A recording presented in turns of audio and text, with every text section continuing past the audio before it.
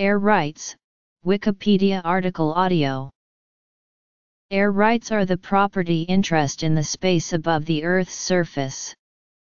Generally speaking, owning, or renting, land or a building includes the right to use and develop the space above the land without interference by others. This legal concept is encoded in the Latin phrase cuius est solum, eius est usque ad caelum et ad inferos, which appears in medieval Roman law and is credited to 13th century glossator Accursius, it was notably popularized in common law in commentaries on the laws of England by William Blackstone. See origins of phrase for details. Air travel. United States. Property rights defined by points on the ground were once believed to extend indefinitely upward.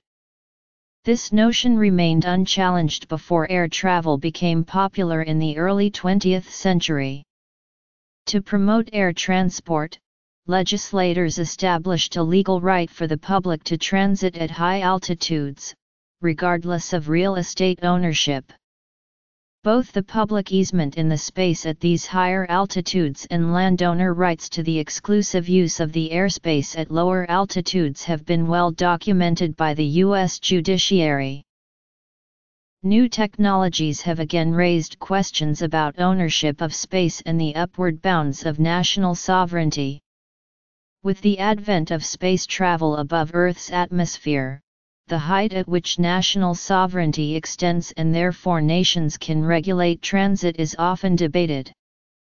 Also, flight by drones at lower altitudes interferes with property interests associated with existing land grants and deeds.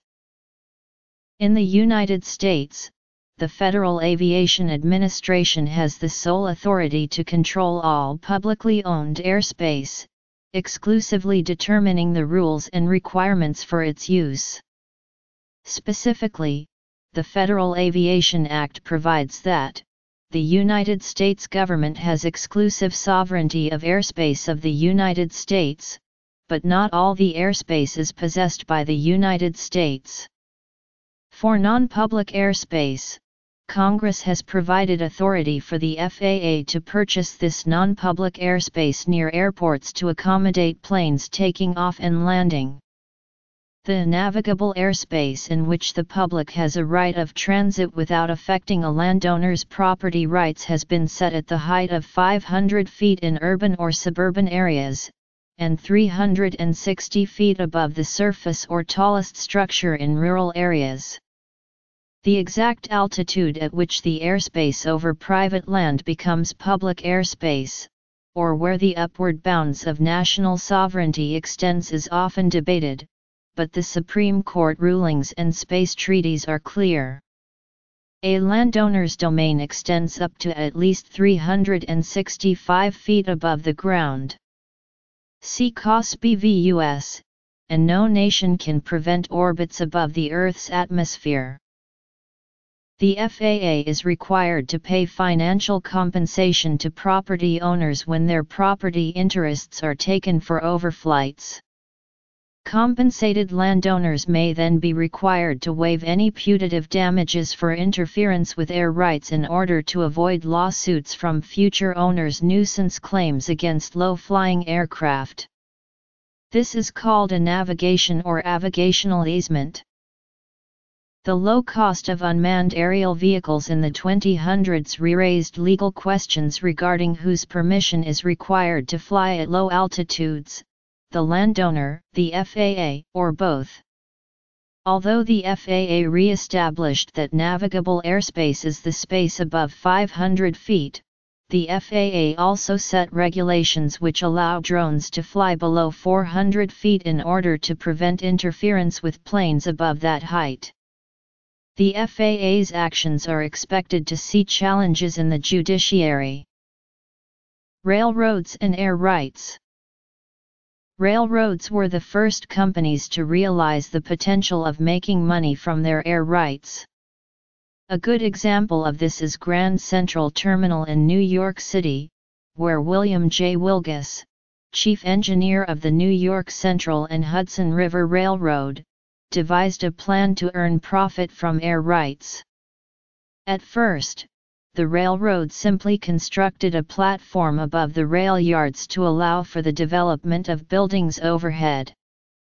By 1954, the railroad began to realize it could sell more air rights and Grand Central Terminal was proposed to be replaced by a 50-story tower.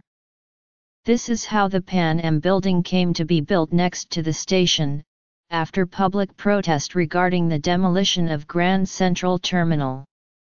This approach is used in Chicago since the construction of the Prudential Building in 1955 above active railroad tracks of the Illinois Central Railroad, and more recently to the west of the Chicago River above tracks leading to Amtrak Station, for River Point and 150 North Riverside, both buildings located between Canal Street and the west bank of the Chicago River.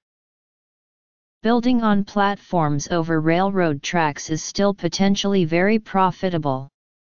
In the mid-2000s, the New York's Metropolitan Transportation Authority attempted to sell air rights to the New York Jets so that they could build the West Side Stadium over the West Side Yard near Penn Station as part of the Hudson Yards redevelopment project. The MTA has even proposed building a platform themselves to encourage development. In Brooklyn, the Barclays Center has been constructed over the Atlantic Yards.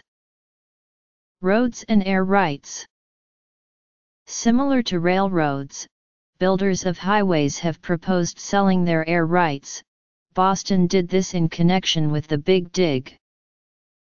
The City of Los Angeles funded a $100,000 feasibility study RFP in January 2007 to explore building a freeway cap park in Hollywood. The park would be built above U.S. Highway 101 and contain 24 acres of new park land. The owner of the land has the exclusive development rights in the space above his lands. Under common law, building a hangover that breaks the vertical plane of a neighbor's property is a trespass and the property owner has the right to remove offending structure. The airspace is property and retains developmental rights which can be sold or transferred. Thus in a dense downtown area, each building in the area may have the right to 35 stories of airspace above his own property. The owners of an older building of only three stories high could make a great deal of money by selling their building and allowing a 35-story skyscraper to be built in its place. For example, a skyscraper developer may purchase the unused airspace from an adjacent landowner in order to develop a broader building. In November 2005, Christ Church in New York sold its vertical development rights for a record $430 per square foot, making more than $30 million on the sale. Air rights in development. Notes Transferable development rights. Explanation of this concept from Eastern Michigan University, explanation of this concept from Ohio State University, TDR Field Guide, Transfer of Development Rights for Balanced Development from Lincoln Institute of Land